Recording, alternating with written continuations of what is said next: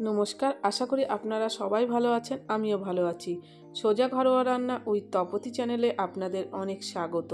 আজকে আমি পনির আর আলু পটল দিয়ে দারুণ সুন্দর একটা রেসিপি বানিয়ে আপনাদেরকে দেখাবো। তাহলে পুরো ভিডিওটা স্কিপ না করে দেখতে থাকুন। এখানে আদা দিয়ে দিলাম, রসুন কুচি দিয়ে দিলাম, পেঁয়াজ দিয়ে দেবো, টমেটো আর ঝালের জন্যে কাঁচা লঙ্কা। পুরো রেসিপিটা আমি এখানে কাঁচা লঙ্কা দিয়েই তৈরি করব। শুকনো লঙ্কার গুঁড়ো কিন্তু আমি এখানে দেব না। ভালো করে একটা মিহি পেস্ট আমি এখানে তৈরি করে নিলাম। মশলাটা দেখুন আমার রেডি হয়ে গেছে। একটা পাত্রে দু চামচ মতন টক দই নিয়ে নেব। এর মধ্যে পরিমাণ মতো লবণ দিয়ে দেবো। আর দিয়ে দেবো এখানে এক চামচ মতন জিরের গুঁড়ো আর সামান্য চিনি। দিয়ে ভালো করে কিন্তু দইটা ফেটিয়ে রেখে দেবো। সুন্দরভাবে ফেটাতে হবে। দইয়ের কোনো দলাভাব যাতে না থাকে। দেখুন সুন্দরভাবে কিন্তু ফ্যাটানো হয়ে গেছে। কড়াই বসিয়ে দিলাম, কড়াইয়ে অল্প পরিমাণ রিফাইন তেল দিয়ে দেবো। তেলটা যেই গরম হয়ে আসবে, ছোট ছোট পনির কেটে রেখেছি, সেগুলো ভেজে নেব। পনিরগুলো এপিট ওপিট দুপিট কিন্তু ভালো করে এখানে ভেজে নিতে হবে।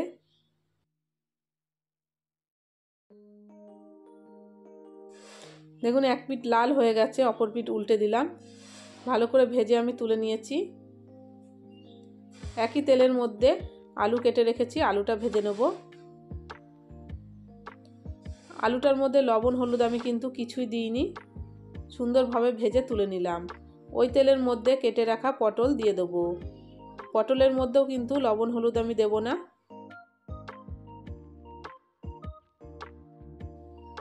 দেখুন, এখানে পটলও কিন্তু হালকা লাল হয়ে এসেছে।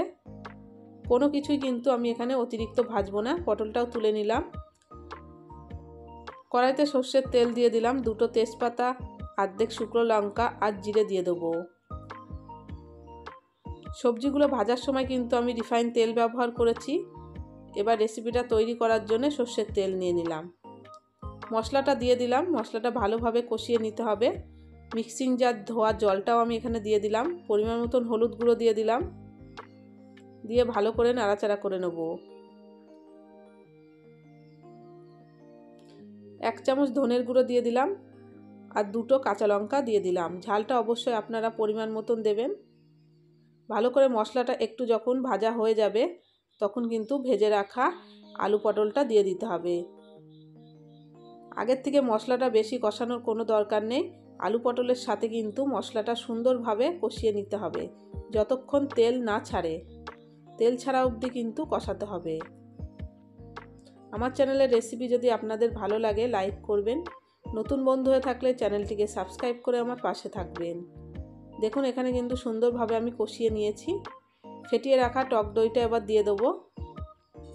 যেহেতু আমি দইয়ের মধ্যে একটু সামান্য চিনি দিয়েছি সেই জন্যে কিন্তু আমি আর চিনি ব্যবহার করব না কষানোর সময়। ভালো করে এখানে কিন্তু কষিয়ে নিতে হবে। কষানো হয়ে গেলে এখানে কিন্তু হালকা গরম জল দিয়ে দিতে হবে। গরম জলটা দিলে কিন্তু স্বাদটা বজায় থাকে। আর ঠান্ডা জলটা দিলে কিন্তু অনেক সময় স্বাদটা একটু হেরফের হয়ে যায়, ভালো লাগে না খেতে। পাঁচ মিনিট ঢেকে দিয়েছিলাম যাতে আলু পটলটা একটু সেদ্ধ হয়ে আসে। দেখুন, এখানে কিন্তু আলু আর পটলটা দুটোই সেদ্ধ হয়ে গেছে সুন্দরভাবে। নাড়াচাড়া করে ভেজে রাখা পনিরের টুকরোগুলো দিয়ে দেবো। পনিরটা দিয়ে কিন্তু এখানে আর ঢাকবো না। আলু পটলের সাথে ভালোভাবে নাড়াচাড়া করে ফুটিয়ে নামিয়ে নিতে হবে। পরিমাণ মতন গরম মশলা গুঁড়ি দিয়ে দিলাম। এই রেসিপিটা কিন্তু আপনারা লুচি, রুটি, পরোটার সাথেও কিন্তু খেতে পারেন। ভাতের সাথেও সুন্দর লাগে।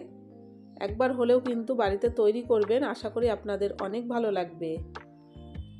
দেখুন, এখানে ফুটে গেছে। ফুটে কিন্তু যখন হালকা কমে আসবে, তখন কিন্তু এটা নামিয়ে নিতে হবে।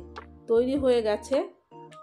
দই দিয়ে আলু, পটল, পনিরের রেসিপি ভালো থাকবেন, সুস্থ থাকবেন, দেখা হবে নেক্সট রেসিপিতে ততক্ষণে